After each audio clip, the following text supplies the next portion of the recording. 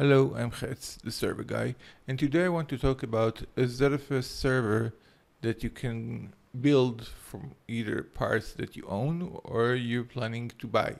This is the low-end version, so it will fit if you have, for example, a home lab with two or three servers, like ESXi servers that you want to connect to and you want to share with Samba and NFS so you can use this list to basically either purchase the parts or use them from your current parts.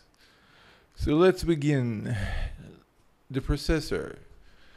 Basically you can use any processor unless you want to use things like 10 gigabit uh, multiple connections like dual ports or quad ports or you want to use NVMe drives. I'll talk about it later. But if you're planning to buy a new PC to build it as a standalone ZFS server, I would recommend to either buy Intel Kaby Lake, Skylake X, Coffee Lake, or if you want to go with AMD, Ryzen 5 or Ryzen 7.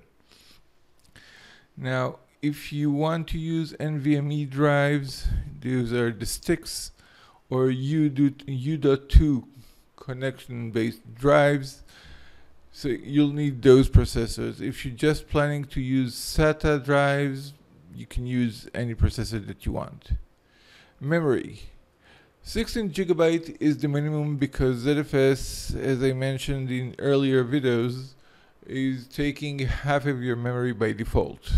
So in 16 gigabyte, your ZFS will take 8 gigabyte.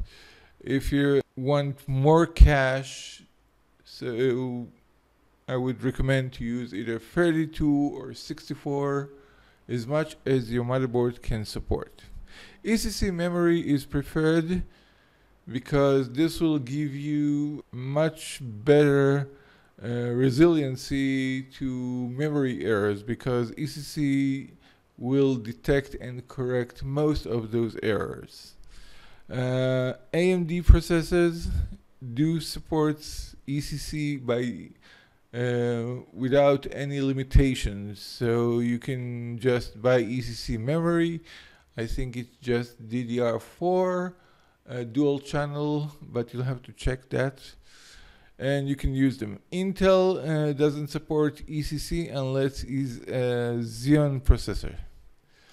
Hard disks, mechanical drives you can use any mechanical drives, but it's it's recommended to start with four, and then you can use uh, mirror uh, mirror configuration, just like a RAID Z1, for example, and uh, you'll have two and two. Uh, so basically, uh, you'll have some uh, resilience if some drives will fail. So four is a good start you can go up as much as you want as long as you're uh, as you have ports in your uh, RAID card and um, you'll have power connections etc. SSD for caching.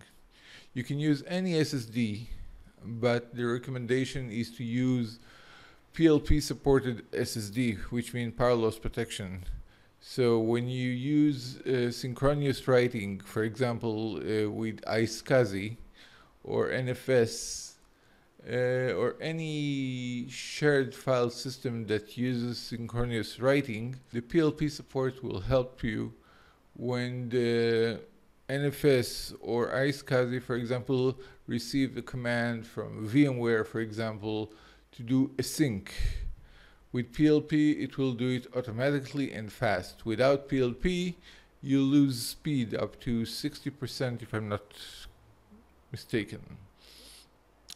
Any enterprise SSD has PLP support and the new Intel 800p and 900p drives also supports PLP. Now, if you want to use the Intel 800p or 900p, you'll need a new motherboard and a new CPU from the list I mentioned above. Or else they won't work because they rely on your UEFI.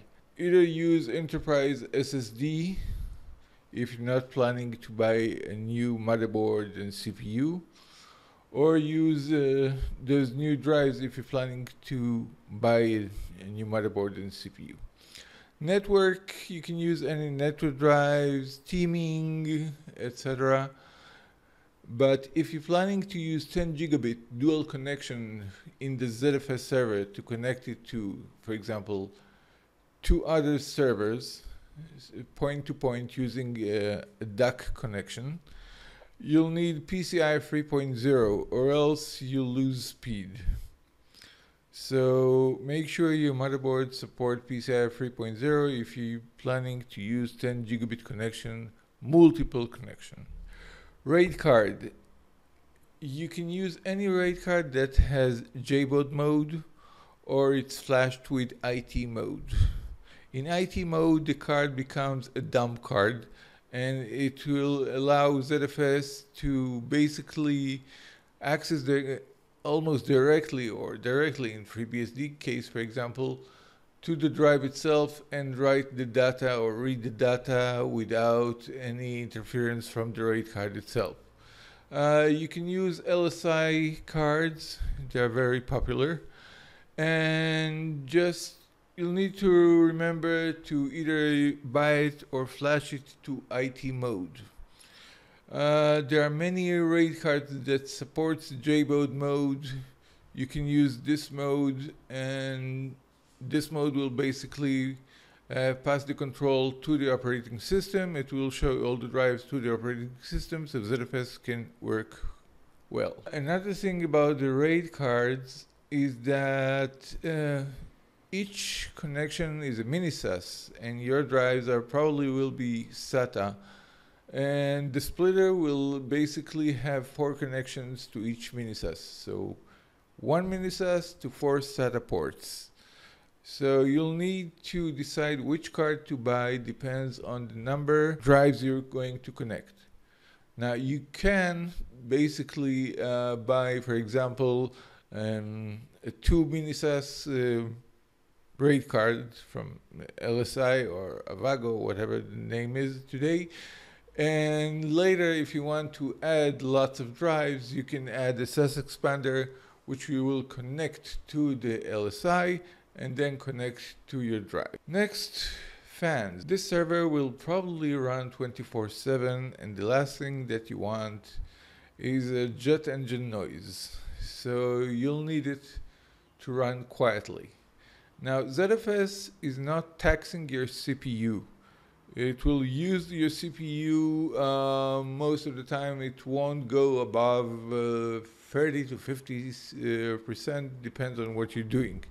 So you can use um, any standard CPU fan.